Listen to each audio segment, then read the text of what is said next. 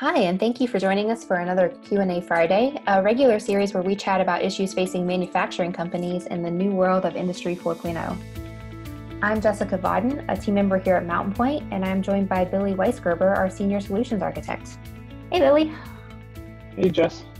So, you're showing us a pretty interesting demo today. We're going to go through an example of a Salesforce community and how one of our clients is using it to streamline their customer service process and give their customers greater insight into the status of their orders, uh, the availability of stock, and uh, be able to download pertinent documents like invoices or packing slips, which I think could be very useful for a lot of different manufacturers who have to shuffle a lot of paperwork on behalf of their customers. So, yeah, I'd like to just kind of turn it over to you and let you show us what you've built. Yep. So, um, kind of like what you said, a lot of times um, manufacturers like to see ERP data um, inside their own Salesforce org, but they also like to be able to share it out to their customers so that they can easily access and see what the status of their orders, are. Um, Domtar took an extra step and made stock be available to them. And so here you can see on their community, they have some useful links that users can access along with news and information.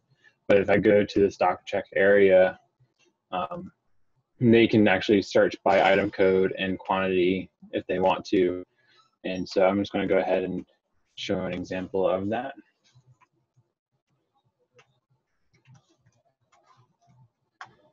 And so one thing that's um, big for Domtar is that they actually depend on the location.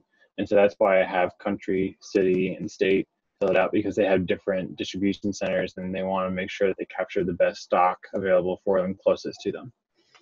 So when I put in 1210 here, we're going to go ahead and click submit. And it's going to call out to their ERP system and then we'll get a response back of the available stock within their ERP system based off that item code.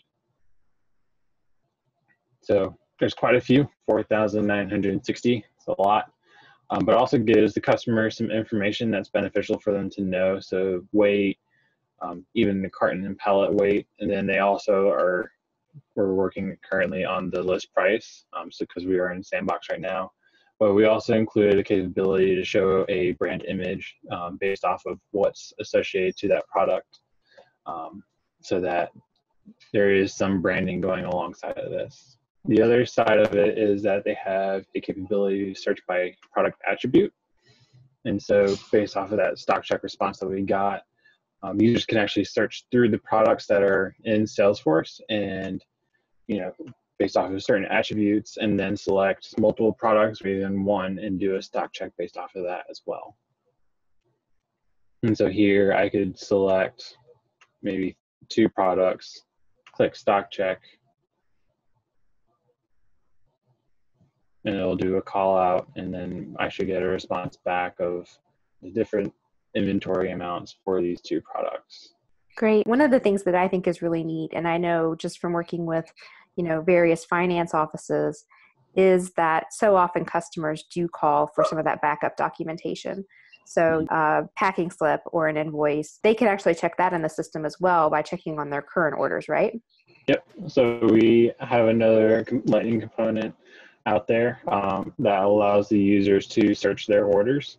And so here you can see this actually shows the 10 most recent orders for uh, the company that they might be associated to. And you can see they have an order confirmation button that allows them to view the order acknowledgement and they can also choose to have it be emailed to them or they can download it themselves along with here in these columns where it says packing list and invoice. If they click that, again, we'll do a call out to where they currently store these documents and have the same capabilities as the order confirmation where they can either have it emailed to them or download it.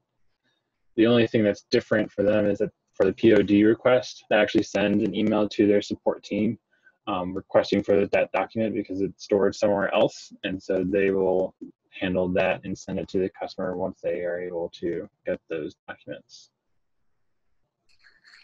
That's awesome. So, uh, seems like a very practical solution for a lot of different types of companies. Uh, anything else you want to show us, Billy, before we sign off for today?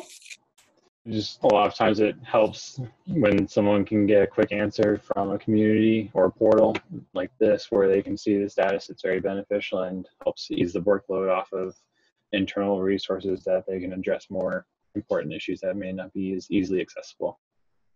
Absolutely. Well, thanks again for taking time to talk to me. And for those of you out there listening, uh, please let us know if you have any follow up questions or if there's a question or a problem that you'd like for us to address on a future Q&A Friday episode. You can hit us up on our social media pages. You can email us. You can find information on our website. We're always really eager to, to hear from you guys. So thanks again and happy Friday. Happy Friday.